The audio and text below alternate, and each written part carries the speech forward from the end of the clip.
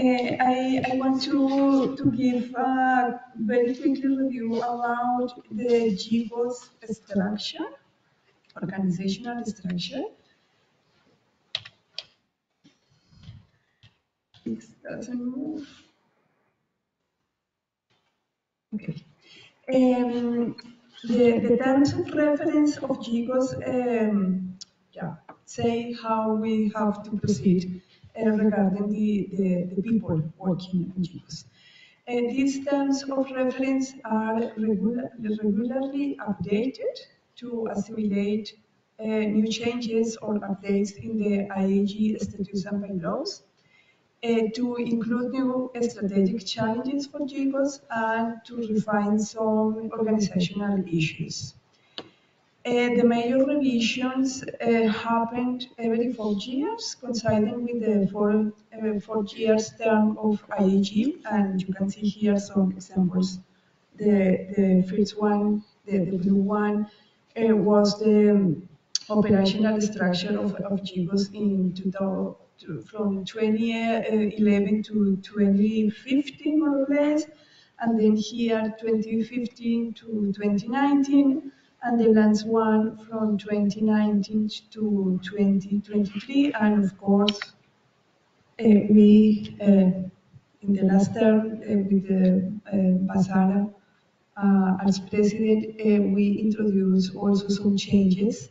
The main change was the merging of the GGOS Consortium and the GGOS Coordinating Board. Initially, these two bodies were the, the decision-making bodies, let's say, but the GGOS Consortium, consortium was more um, a representative body. They, they, so this consortium uh, really didn't meet and the members were defined at the beginning of our term, and this consortium um, uh, elected about eight members for the coordinating board, and the GGOS coordinating board was really giving the policy direction of GGOS. Uh, this was very confusing for, for inside and outside of GGOS, and after a survey, it was decided to merge these two, these two um, bodies in only one um, body called uh, governing, governing board. So uh, from today, we will talk about the GGOS governing board. Uh, another change is related to the focus areas. The, the, one of the priority uh, focus areas in GGOS was the unification of the realization of a world height system and these focus areas, fo this focus area was active in 12 years, and the objectives of this focus area were completed in this year. So the operational uh, maintenance, let's say the operational activities for the World Height System uh, are, uh, will be uh, assumed by the International Gravity Field Service. On Friday, on Friday we will have some details about this transition. But the focus areas itself it was the Commission and the IUGG 2023. And now we have a new focus area, um, artificial intelligence for geodesy. It started in, May, in May 2023. So um, I will not go into the details because most of these, most now all of these companies will, will present some reports uh, tomorrow and the day after tomorrow. But I think it's important that we have um, clarity about the components of this stru structure of GGOS.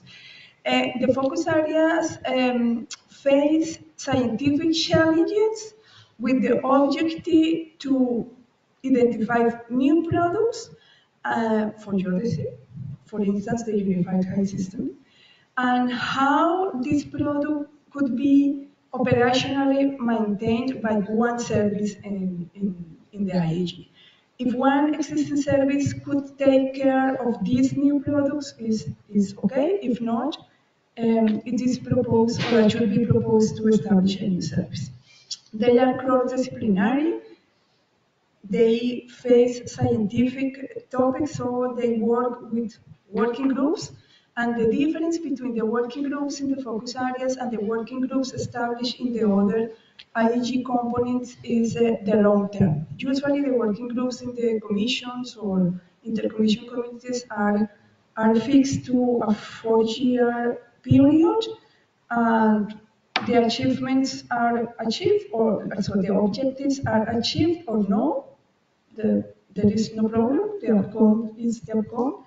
But here um, we, we set up uh, the work to, to be successful. okay.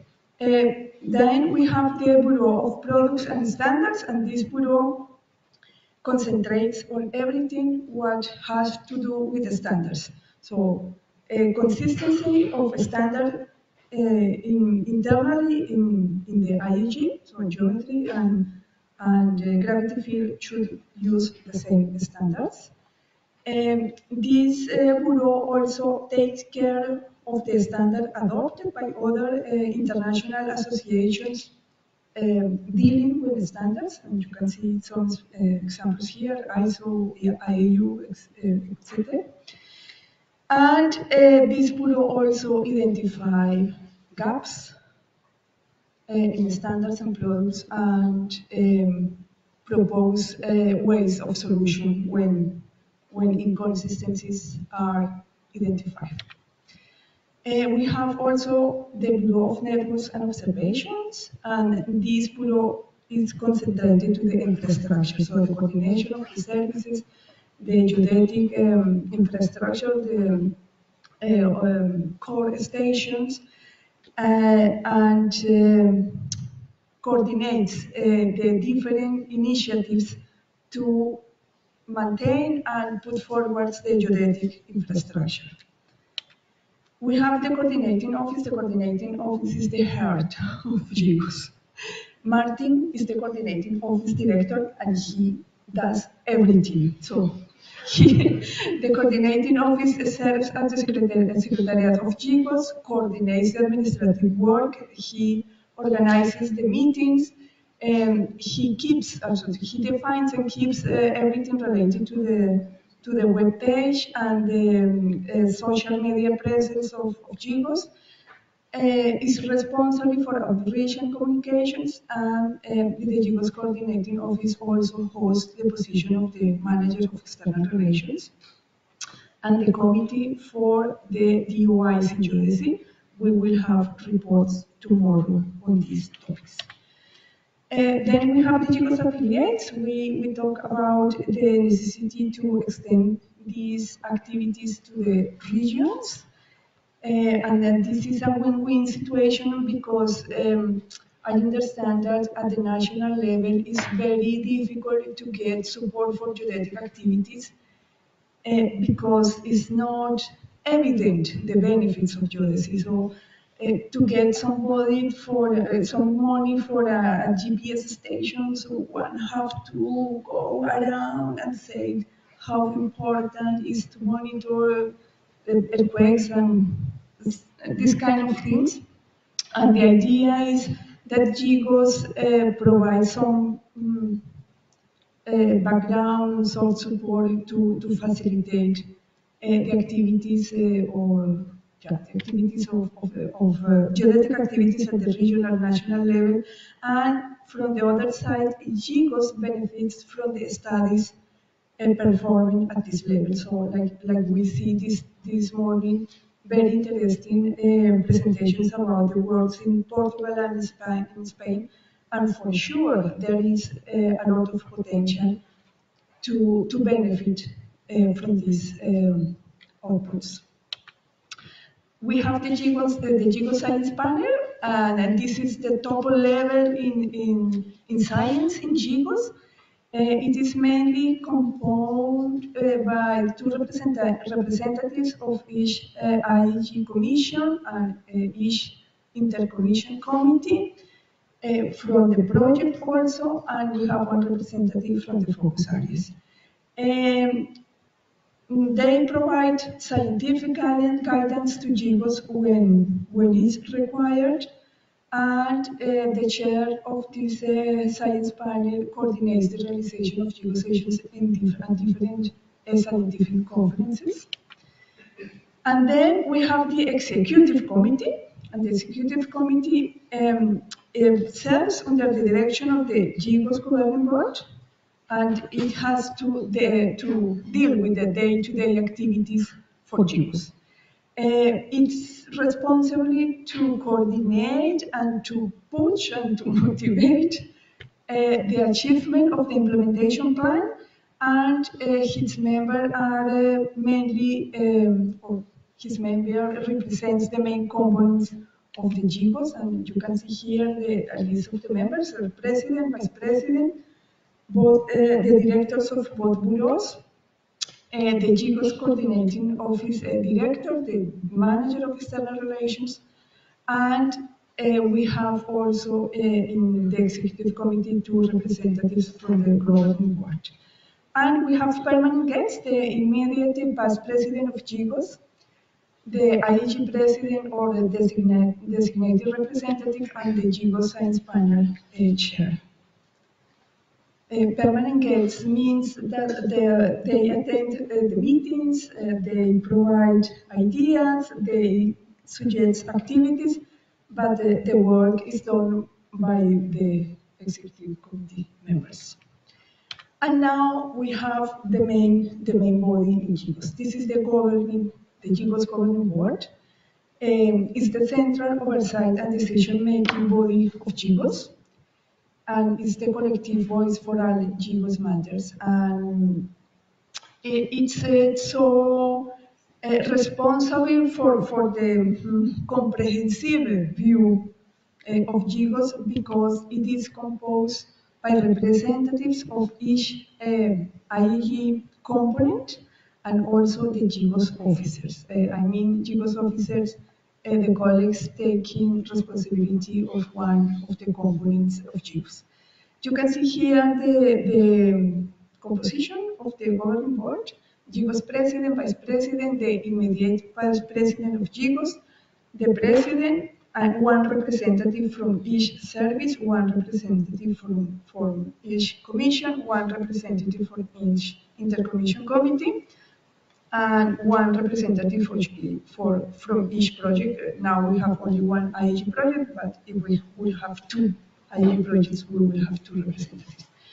Then we have the science panel direct, uh, chair, the director uh, of two of the both uh, bureaus, and representative for, for each GGOS affiliate, the coordinating office director, the manager of external relations, the leads of the focus areas and the chairs of the of the different committees in GGOS.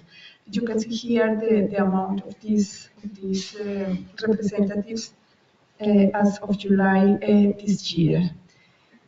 Um, then we have two members at large to ensure some geographical homogeneity that the, that the geographical regions underrepresented can be um, in, at the, at the GGOS governing board. And we introduce also two appointed members, and these appointed members should be uh, defined by the executive committee. Uh, and then we have non-voting members. The non-voting members are the, the, chairs of the working groups and um, another, another functions that are integrated in one of the main GGOS components. And this is the status of the governing board voting members as of uh, yesterday.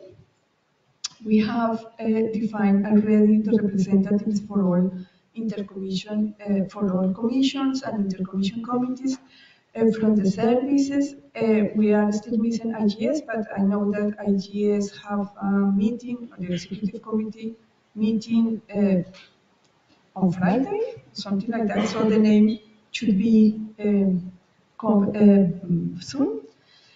Um, we are uh, negotiating the GGOS vice president, and we have the science panel chair. Uh, unfortunately, um, Kosuke Heki stepped down as, as chair of the science panel, and now he is coordinating the election of a new chair for the science panel, but he will present this uh, later.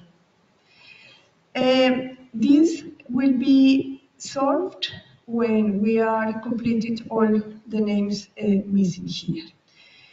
Uh, you are seeing here the, the primary representative, but uh, it's true that when the primary representative um, is not able to attend any GGOS meeting, he can, he or she can recommend or give, delegate uh, a second representative uh, in his place.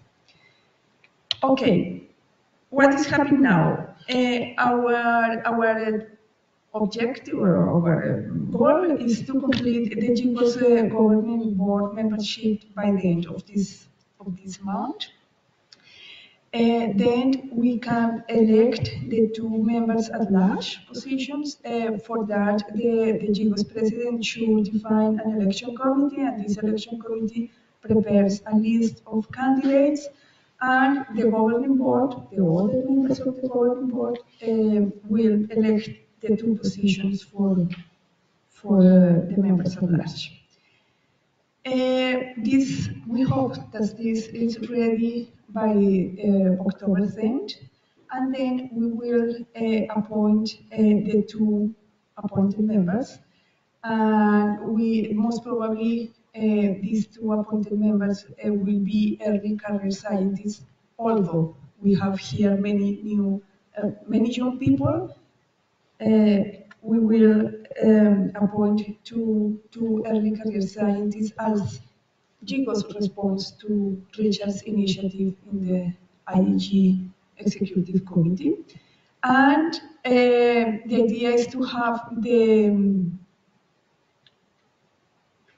the okay, the, the two appointed uh, members uh, okay, sorry. Once the, the governing board is completed, including the two appointed members and the, and the two members at large, we will need two representatives from the governing board for the daily activities phase in the GGOS Executive Committee.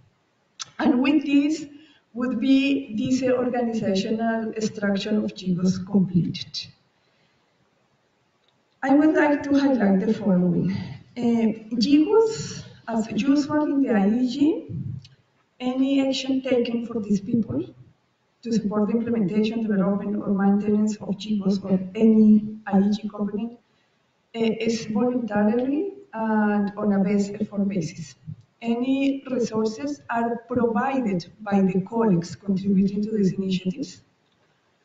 Uh, there is no funding, so uh, many people, um, many colleagues think that when when somebody invites somebody to approach GGOS, the first question is, ah, can I get funding? No. GGOS and IAG cannot provide funding because we don't have money. So the, the operational activities uh, and the um, economical, the financial resources are provided by our home institutions. And then this is make very, very valuable the, the contribution of the different members in the GGOS boards, bureaus, coordinating office, committees, affiliates, focus areas, working groups. There's a lot, a lot of people working for free for GGOS. So this, this uh, support is, is really highly appreciated and, of course, acknowledged. This will be the end uh, of my presentation related to the governing board of the GGOS structure. Uh, I don't know if there is questions or comments. Uh, I have to add something here. Um, we have a new uh, service. The International Altimetry Service uh, was installed as a pilot service because it's in the implementation phase. it was installed in, in the, at, at the IAG Executive Committee meeting at IUGG and our idea is to invite a representative of this service to be a permanent guest, a permanent guest in this in this governing board, um, in order to see how GGOS could support the implementation of, of the service and, and to see if there is more points of contact between GGOS and, and the new service. I, I think this is all.